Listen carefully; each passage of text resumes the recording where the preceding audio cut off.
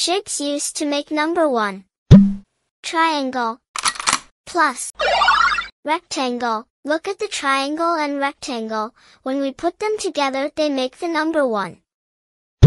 Shapes used to make number 2. Circle. Plus. Semicircle. Plus. Rectangle. Look at the circle, semicircle, and rectangle. When we put them together they make the number 2. Shapes used to make number 3. Circle. Plus. Circle. Plus. Semicircle. Plus. Semicircle. Look at the two circles and two semicircles. When we put them together they make the number 3. Shapes used to make number 4. Rectangle. Plus. Circle. Plus. Rectangle. Look at the two rectangles and circle. When we put them together they make the number 4. Shapes used to make number 5. Rectangle. Plus. Circle. Plus.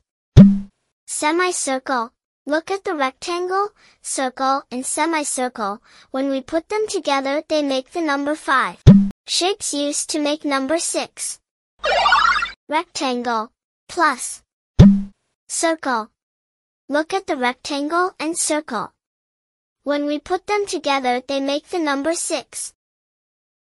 Shapes used to make number 7.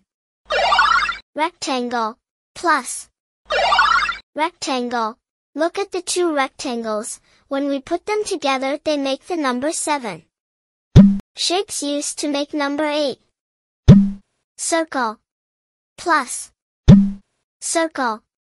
Look at the two circles. When we put them together they make the number 8. Shapes used to make number 9. Rectangle. Plus. Circle. Look at the rectangle and circle. When we put them together they make the number 9. Shapes used to make number 10. Triangle. Plus. Rectangle. Plus.